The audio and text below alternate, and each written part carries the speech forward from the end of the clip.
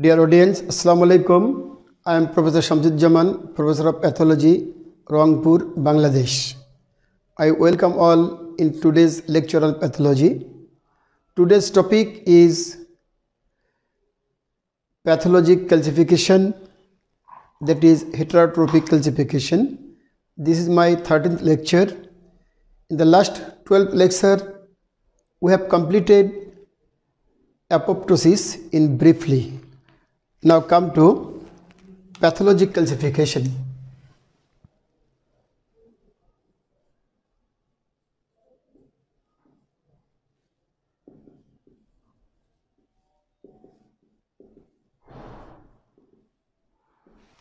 It is also called heterotrophic calcification.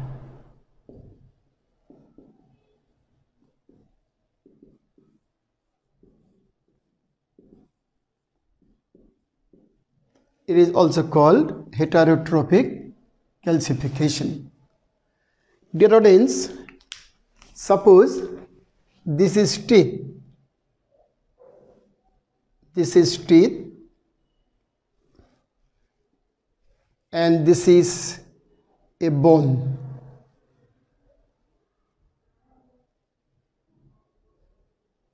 You know, bone and teeth requires deposition of calcium for its strength. If calcium is not sufficiently deposited in bone and bone and teeth, what will happen? There will be weakness of teeth and there is weakness of bone.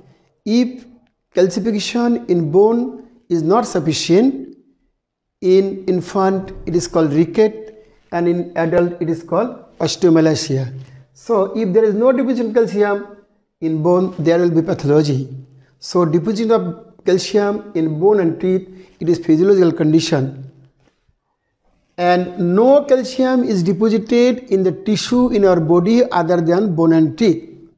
What I say, no calcium is deposited in our tissue other than bone and teeth and this is physiology. If calcium is deposited in tissue other than bone and teeth, this is pathology. This is called pathologic calcification. As no calcium is deposited in tissue other than bone and teeth, if calcium is deposited in tissue other than bone and teeth, this is also called heterotrophic calcification. Now come to what is the definition of pathologic calcification? Deposition of calcium with other mineral like phosphate. So deposition of calcium with other mineral like phosphate in tissue other than other than bone and teeth is called pathologic calcification. Is called pathologic calcification or called heterotrophic calcification. So this is the definition of pathologic calcification. Now come to types of pathologic calcification. What are the types?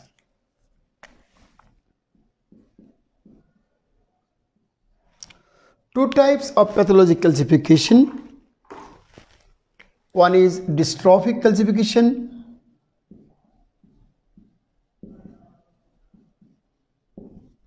One is dystrophic calcification and another is metastatic calcification.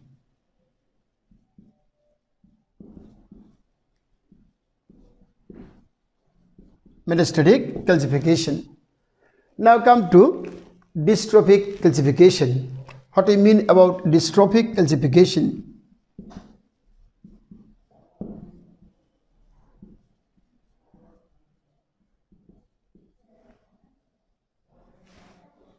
Dystrophic calcification, it means deposition of calcium in dead and dying or degenerated tissue. So, deposition of calcium in dead and degenerated. Degenerated that is dying tissue is called dystrophic calcification. Now come to the, what are the common sites or usual sites of dystrophic calcifications. Sites of dystrophic calcifications. Sites. It may be caseous necrosis, caseous necrosis in tuberculosis.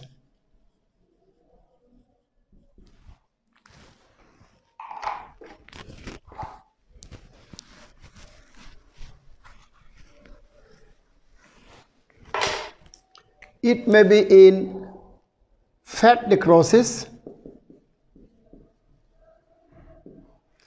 dead microfilaria,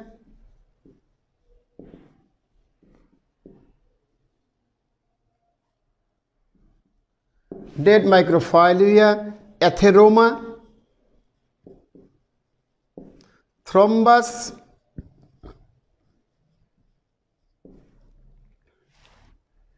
infarct, hematoma, and also damaged heart valve cusp in rheumatic fever or rheumatic heart disease. Damaged heart valve cusp in rheumatic fever or rheumatic heart disease. So, the sites caseous necrosis in tuberculosis, fat necrosis, dead microfilaria, atheroma, thrombus, infarct, hematoma, damaged heart valve cusp in rheumatic fever, etc. These are the sites of dystrophic calcification. Dear audience, we are talking about pathologic calcification. It means calcification in tissue other than bone and teeth. If calcifications occur in tissue other than bone and teeth, following calcification there will be pathology, there will be sufferings. So it is called pathologic calcification. Now come to what sufferings we can get in dystrophic calcification. I mean we have to know some consequences of dystrophic calcification. Now come to some consequences.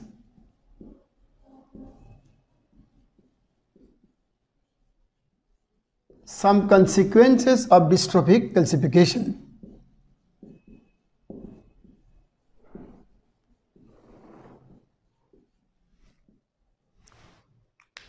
Suppose this is heart valve and cusp of heart valve, cusp of heart valve.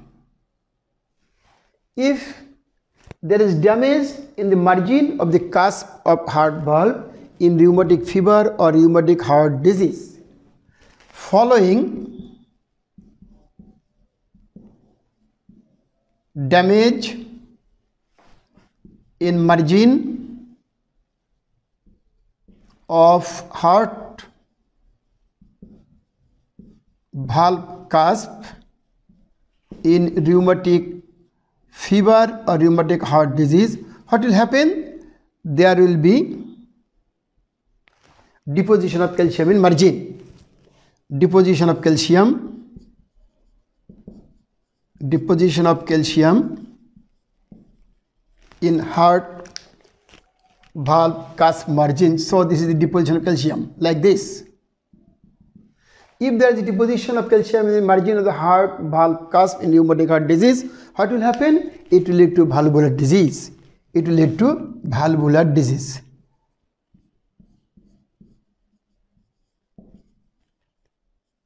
So, simply the deposition of calcium in the heart valve it will lead to pathology that is valvular heart disease.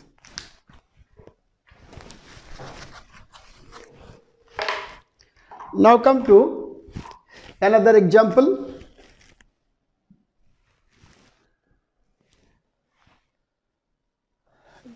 Calcification or calcium deposition in atheroma atheroma or in thrombus if this is the blood vessel blood vessel and the, the lining endothelium. If there is atheroma if there is atheroma there is a subintimal fibrofatty cap plaque this is the atheroma atheromatous plaque. Or in another vessel if there is if there is thrombus formation like this this is thrombus if calcification occurs in the atheromatous plaque like this or in the thrombus, what will happen? The arterial wall become hard and there is loss of elasticity. So, calcium deposition in atheroma or in or thrombus, what will happen? Hardening, hardening of vascular wall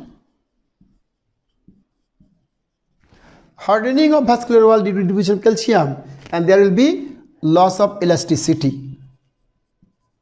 Loss of elasticity.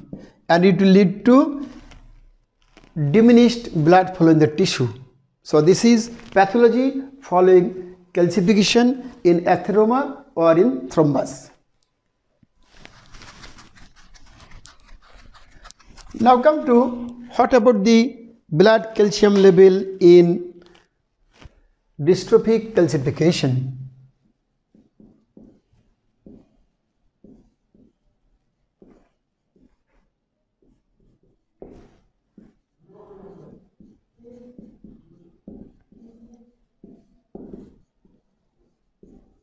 Blood calcium level in dystrophic calcification. The blood calcium level may be normocalcemia or hypocalcemia. So it will be, it is hypocalcemia, normocalcemia, normocalcemia or hypocalcemia.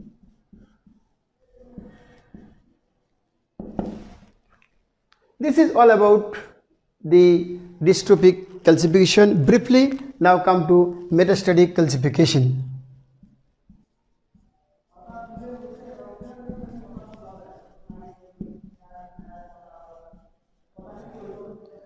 What we mean about metastatic calcification? It means deposition of calcium or it means deposition of calcium deposition of calcium in viable tissue is called metastatic calcification. Dear audience, deposition in dead tissue, dystrophic calcification, in viable tissue, metastatic calcification.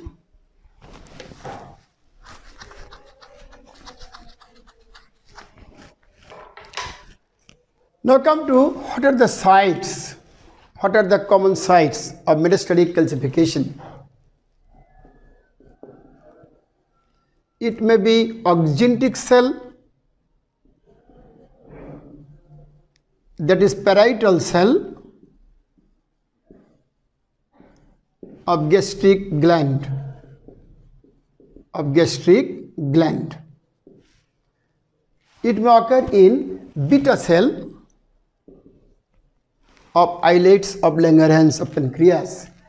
It may occur around the renal tubule, around the renal tubule. If calcification occurs around the renal tubule, it will lead to nephrocalcinosis nephrocalcinosis. It may occur in blood vascular wall, blood vessel wall. It may occur in thyroid follicular cell. Thyroid follicular cell. It may occur in alveolar wall of lung. Alveolar wall of lung.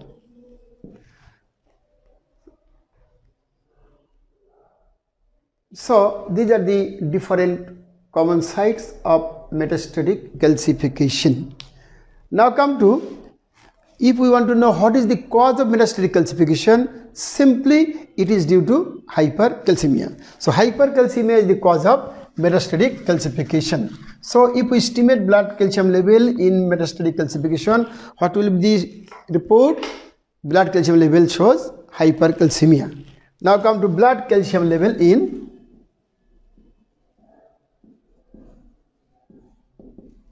blood calcium level in metastatic calcification.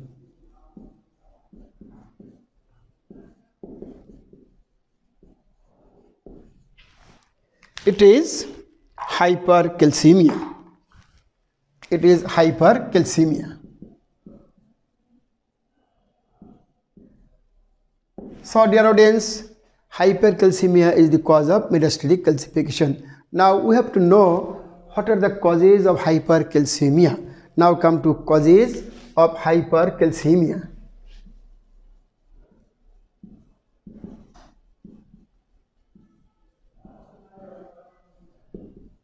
what are the causes of hypercalcemia it may be due to hyperparathyroidism Hyperparathyroidism. Dear audience, we know parathyroid hormone is associated with hypercalcemia and thyrocalcitonin is associated with hypocalcemia. You know the hormone that is released from the parathyroid gland, it stimulates the osteoclast in the bone and due to activities of osteoclast in the bone, there is resorption of calcium from the bone and it will lead to hypercalcemia in plasma. Vitamin D intoxication. Then chronic renal failure that is chronic kidney disease. Chronic renal failure that is chronic kidney disease. Then some bone diseases. Bone diseases. There are some bone diseases that will lead to hypercalcemia. What are those? Chronic osteomyelitis,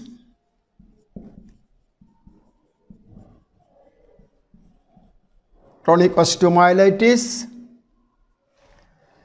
long bone fracture, long bone fracture,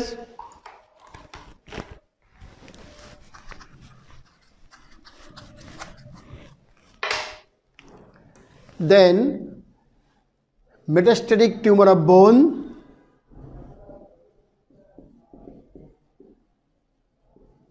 metastatic tumor of bone, then Paget's disease. Dear audience, Paget's disease of bone, there are three phases. Lytic phase and last phase is sclerotic phase and intermediate phase in between two admixture of first and second phase.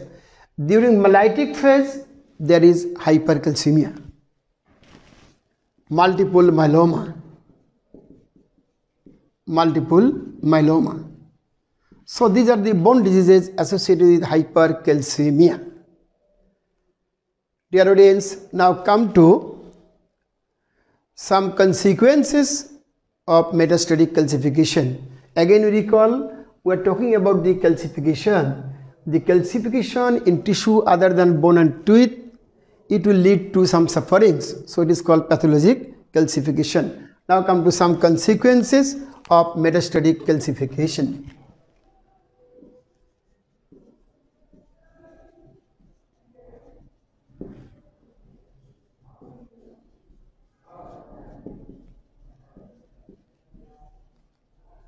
Some consequences of metastatic calcification. It may be first one if calcifications occur in oxyntic cell or parietal cell of stomach. You know if this is the gastric gland, if this is the gastric gland and if this is the parietal cell, it will secrete we know hydrochloric acid and it secretes intrinsic factor of Castle intrinsic factor of Castle. So from the oxyntic cell we get hydrochloric acid and we get intrinsic factor of Castle. If calcification occurs within the oxyntic cell, what will happen? Calcification in oxyntic cell, what will happen? There is decreased decreased secretion of one is hydrochloric acid another is intrinsic factor of Castle.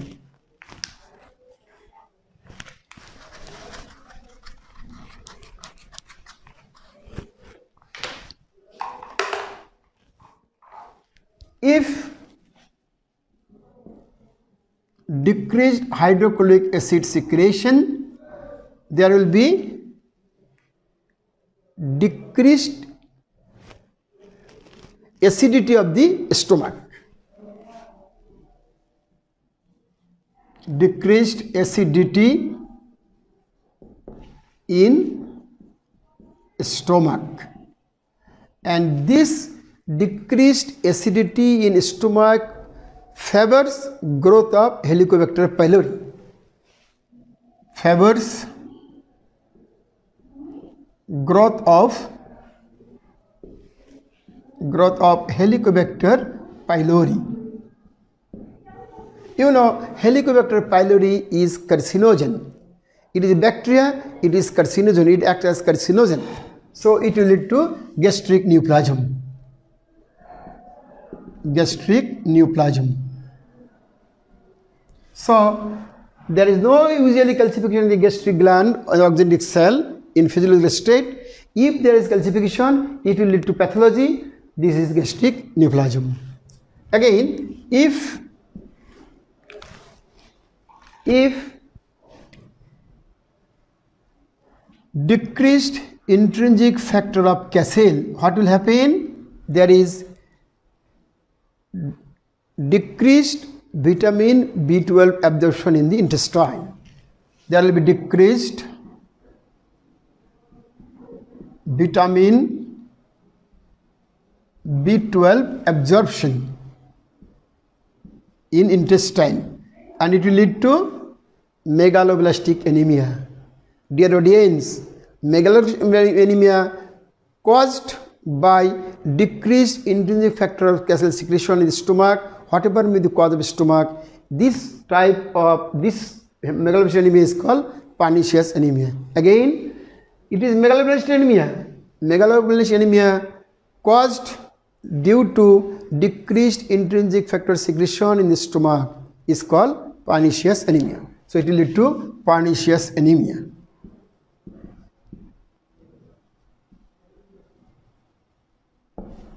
So this is sufferings, this is pathology, these sufferings due to simply deposition of calcium. So this is pathology calcification, it will lead to pathology.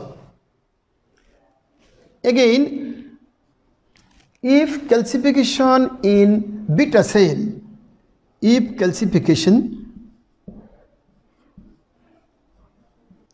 we are talking about the some consequences of metastatic calcification, the audience.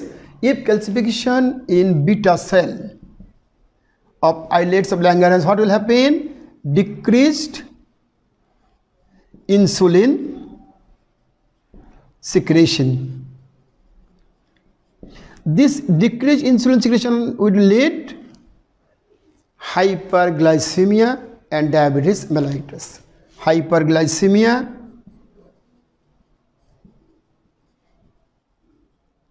and diabetes mellitus.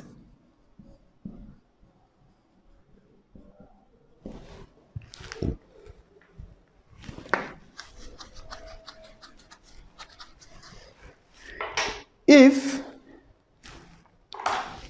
if calcification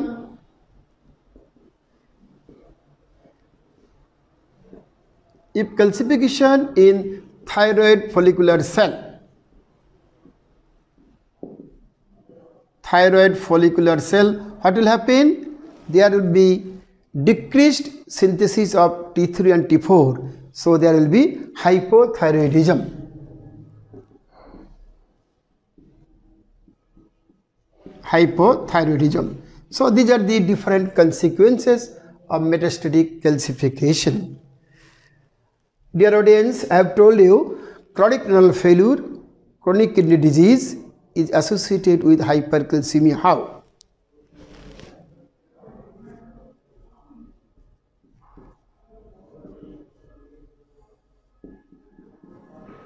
How it causes hypercalcemia?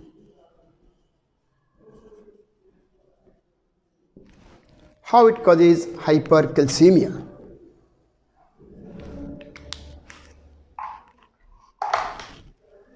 Derodens CRF or CKD will lead to retention of retention of phosphate in blood and it is called hyperphosphatemia.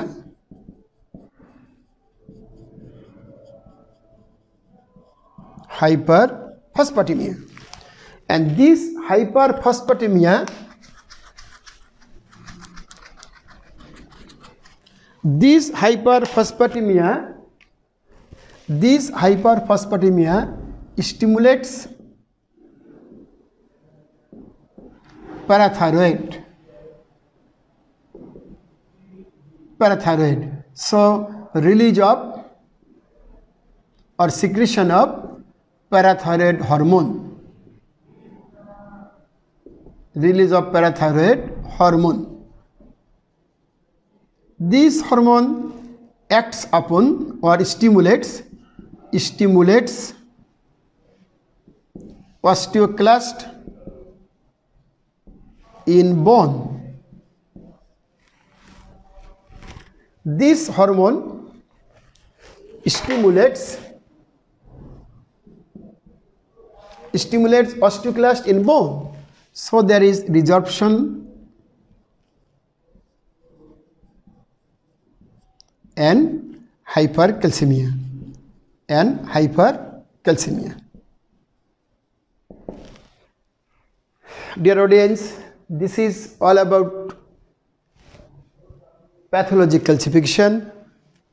Thanks all.